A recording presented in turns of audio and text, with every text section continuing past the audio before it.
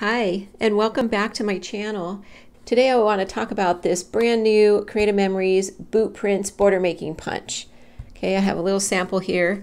When you first punch it out, it leaves little boot prints on the paper and you do have to put it on top of something to in order to see them. So, but very, very, very cute. This this came out with the Leave Nothing Behind collection, which is a very outdoorsy uh, type of collection. And um, I loved this punch the minute I saw it. My family does a lot of hiking and a lot of outdoorsy things. So um, I grabbed this uh, right away. Um, as soon as I got it home, though, I realized, oh, this is great for work boots or army boots. In my case, army boots, military boots. Um, but my son is an Army Reserve. He has been for the last um, four and a half years. So um, when I saw it, once I punched it out, I thought, oh, I have to do a page in his Army album showing these cute little boot prints. So that's what we're going to do today. Okay, so let me put this aside for a minute because I would like to do a little layout share on his album. Now this album, I have to say, is one of my albums that it doesn't have a lot of bling. It doesn't have a lot of um, embellishments overall. I tried to use paper um, to highlight the page more than I did embellishments. It's very hard to find military related um, embellishments. Well, I shouldn't say hard, but but you know, you go to the store and they have one. And they have 25 different flowers, but they have one military that you might be able to use if it's the right branch.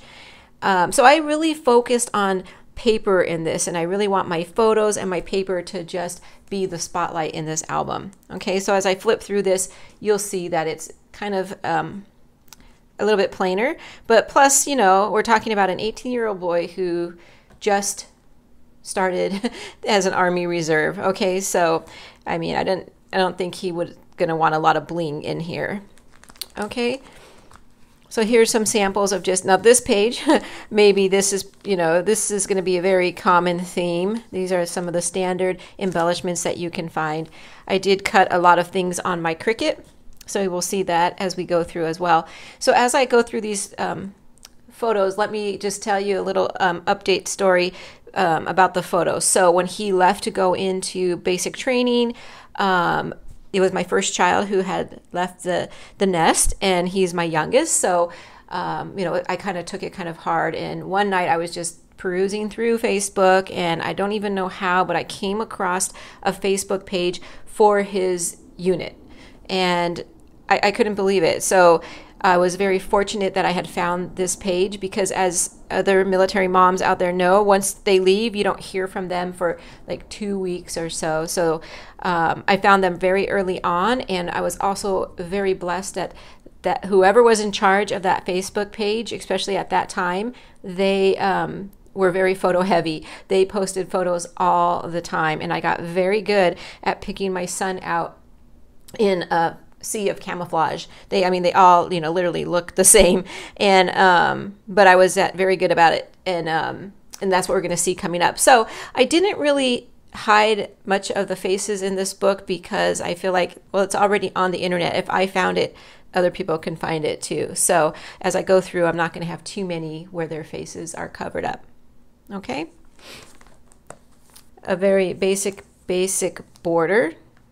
Okay and I did try, if I knew the name of the event that was taking place, I tried to um, incorporate that as well. You know, see, this is what I mean about being um, able to find him. I knew that was the back of his head. so you get very good at, you know, spotting out your um, your child, right?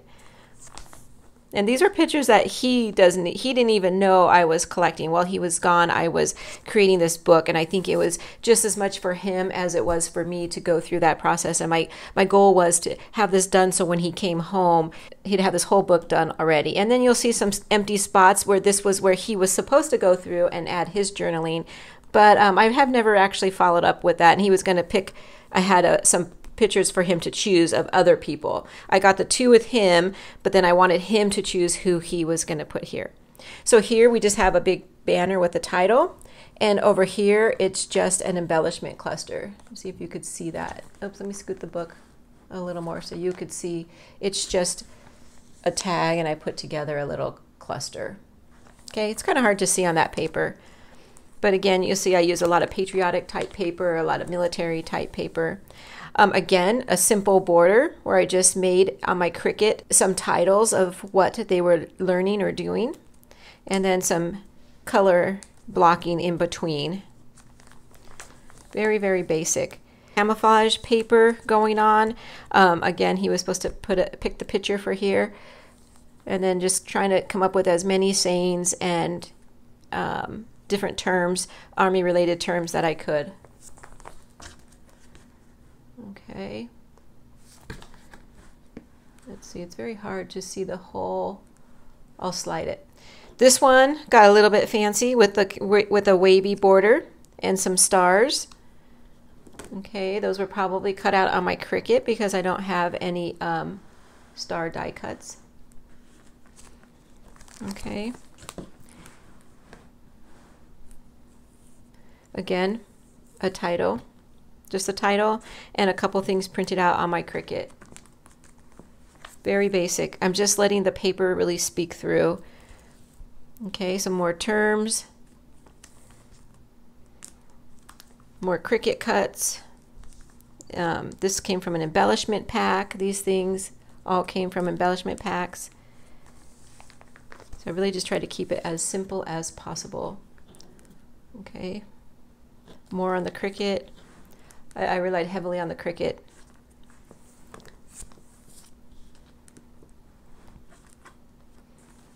Okay. You see, I just try to change it up, put a big circle there. I'm hoping you're not getting too much glare on this. And then something like this, I wanted the stars and stripes in the background because here they're actually having their um, uh, promotional ceremony. So I wanted that in the background and I wanted to keep that open so that it would represent the flag. Okay, very, very simple, traditional, me, whoops, over here, a traditional type border here and here. I used a lot of uh, titles and a lot of letters to represent what was going on. And when I had appropriate embellishments, I included them. Okay. I mean, I think you're getting the idea that how simple I kind of kept this. Okay. Here uh, it's very paper heavy. I use a lot of paper in the background, so I ended up matting and putting some solid cardstock behind it, kind of tone it down so you can actually see the photos. Okay. Okay. Added a little bit of twine there. I try to keep it in in mind with the uh, ruggedness of being in Army boot camp. And then these photos were um, well these ones i took when we were visiting and then these ones were uh, once they did get phone privileges he was allowed to um, have his phone for a couple hours on sunday afternoon. So he would call and he was able to send uh, some pictures um, at that time. And so these kind these came from him and just some snapshots of his buddies and around the base. Not too many but and then a couple from other um, family members' Facebook pages of other military people who lived closer by and were able to actually go on base during those two hours. Okay, and then the last page is just some memorabilia, memorabilia which I won't show because it does have some personal information on it. Okay, so that's that. And um, so now let's get on to what page we're going to add today. So when he came home, and now he his responsibility is he goes every weekend and then once a year he goes for two to three weeks in the summertime and does annual training. So that's what i my goal was to always stay on top of the annual training once he um, started. And of course that's where i slacked off. So um, that's what i want to do today is to make a page in his album using the boot print and um, showing one of the the first annual training that he went to. Now I don't have a lot of photos because you know he was 18 and the last thing he wants to do is when he's out there is to send his mom some photos. So i do still rely on the internet. I'll go and i'll clip some i'll show you the photos i have. So i clip the signs you know whatever's on the internet i clip off i'm not really sure remember why i printed this one so big but um, those are the two that i got from the internet and then this is the one picture he did send me of himself so that it's going to be a pr pretty quick page. I only have three photos. And I'm going to use um, the Wanderlust collection. When I looked at this, I thought, well, this has those some military, um, what I would call like appropriate for military pages. So let's see what I chose. Probably going to use that as a scrap. I chose this brown. It almost looks like maybe some faux leather. And on the back side, if you have this collection, it's the one with the small words, but I am going to use the darker side. And then I'm going to use this print. It's like a um, kind of a rugged newspaper uh, distressed kind of look. Okay, those are the two papers I'm going to use from that collection. Okay, so I'm going to use this one as a base. I know that for sure. And then this one um, I decided I was going to do a little bit of paper tearing. So my idea is to paper tear the bottom and then that's where I'm going to have my boot print coming out. Okay, so let's go ahead and do that. I kind of want about two inches. Now when I paper tear, I always tear a little bit to see which direction I need to go. If you see white, then and you don't want that look, which I don't want that look, then you need to tear the other direction. So instead of going backwards, I need to start going frontwards okay? And I'm actually wrong because this is the side I want to look at. I don't want the white here. So I need to tear it under. Okay, so I'm just going to tear this across.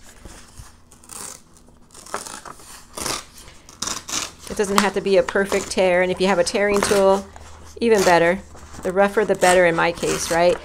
I believe on this um, trip he was pretty much sleeping outside in a tent most of the training.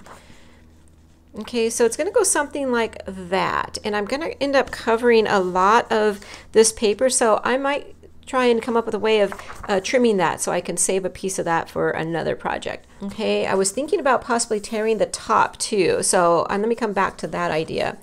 So here's my photos again. I kind of want them laid out kind of like I just was showing you. Something like this. This one I'm going to trim. So let me grab my personal trimmer. And I'm going to trim off some of the dead grass there that we don't need to see. Do a little bit at a time until I get just the amount that I want. So I kind of want it something like that. Oh, that's, let's see, it's this big one. I might have to reprint this one, huh? That is huge, but kind of like it. There, I do. I want it something like this. I'm going to save this spot for journaling. Yeah, I think I'm going to leave it plain up here. I'm not going to paper tear it. So I'm, I probably will try and gut some of the back paper or trim it down. Okay, so my idea down here is to put the boot print. Okay, so it's going to look something like this. This is just my sample though. I'm not going to use this piece. Okay, so you could kind of see the boots walking through the rugged area of the paper. Okay, I'm going to try and take off this little piece of white right there. Okay. So let's cut a sample. Let me demonstrate how this punch works. You take a strip and the front has markings. If you want the paper to slide that direction, you'll line it up on that black dot. If you want it to line the other one, then you line it up on the opposite uh, black mark. Okay, so I'm gonna want my paper to slide this way. That's just easier for me. So I'm gonna slide this in um, up against that black line, hold it in the back and push down. And slide it over until you cover up the areas over here, make sure it's in the back and push down. Okay. Again,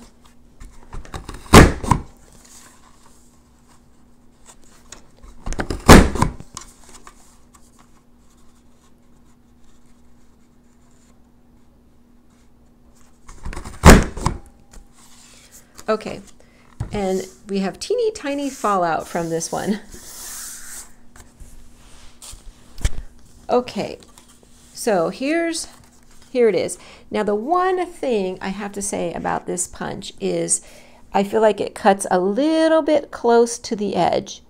So if I want my boot prints going that direction, then it's hard to tuck and I'm going to end up covering up some of them. But that's okay. I don't mind covering them up. Um, I could also flip it upside down. My boot prints could be going the other direction. I had some extra here and so I could tuck it up going that way. Okay, let's see how big this, how wide this one was before we started. I should have measured that um, so we know. So we started here with a two and a half inch.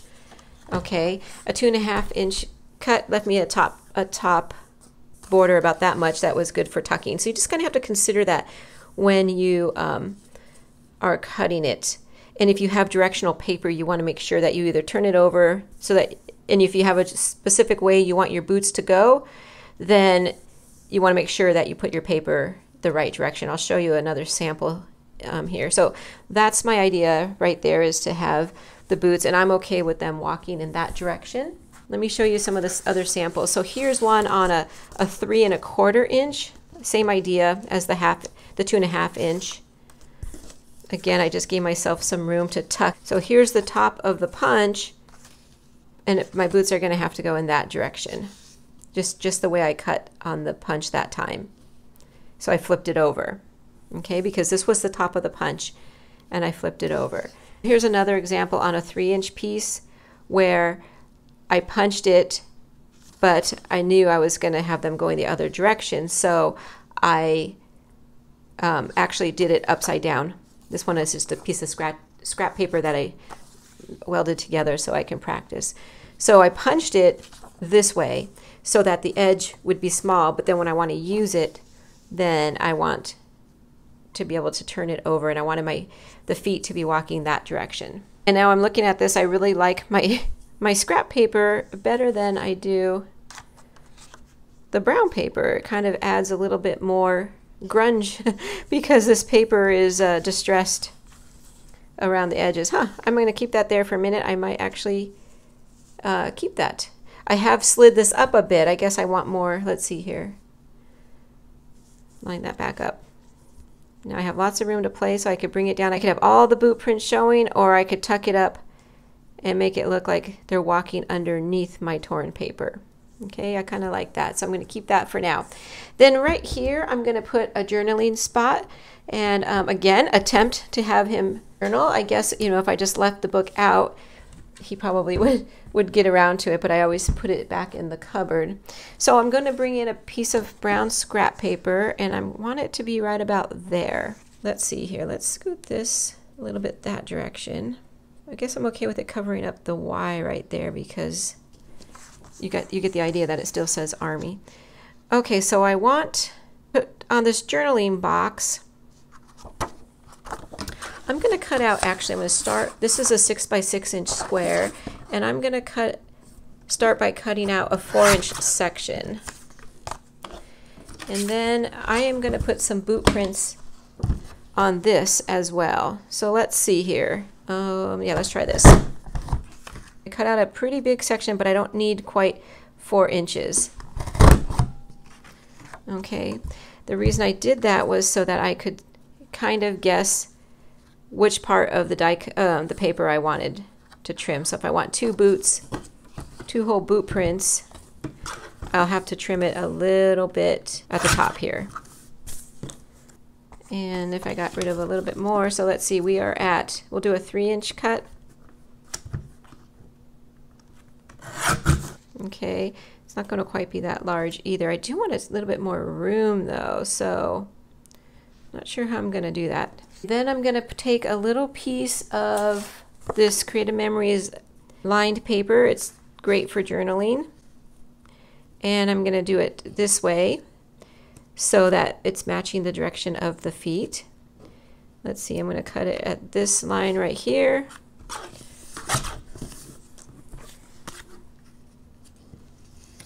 and I don't need a lot of journaling for this. It was his first year Um, and I have the location already. So maybe just a few things that maybe he remembers whether he you know slept under um, in a tent or did he sleep in barracks? You know, just a few little notes. This is my highlight photo, so I really want to have that. And I like that it says Total Force Training Center.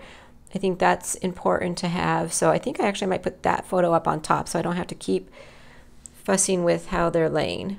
Something like that. I kind of want all them touching. So yeah, I like that a lot. So I'll put the journaling there. Yeah, I don't think I'm going to put a title or anything. In the journaling, we'll put that it was the annual training for that year, and this was 2018. So, but I did want to show you in the stickers that come with the Wanderlust collection. There are some that are actually would be appropriate for this page. And like who would have even thought, but I could always use the compass because they were field training. Could use the binoculars, of course the arrow. Um, uh, there's a lot of geo stickers in here. Another arrow, a map, because they were out practicing. Um, maybe not so much on this one. I mean, remember this, he might like that. There's this other um, directional sign here, 24-7, that's a good one. So there's a lot of that would be um, actually appropriate for, for this page. So I also did pull out some of the embellishments that I had and um, I really liked this pair of boots right here because I kind of want to go with the whole boot theme, right?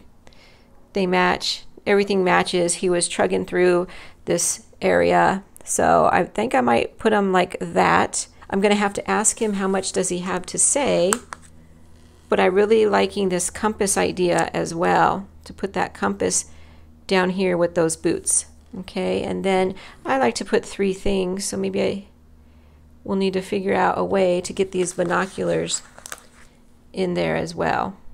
Or maybe tuck them in here somehow. Let's see. Okay. So there we are. I think that is going to be a wrap for this layout. Again, a very simple layout for my very simple army book that I'm keeping for my son. And I hope that that maybe gives you a little bit of inspiration on how to use the boot punch. And um, yeah, I'll be coming back and using that punch again for sure when I do some some hiking pages. So I hope you had got some inspiration out of that today. You might want to check out the boot prints punch it's pretty awesome. I think you're going to like it.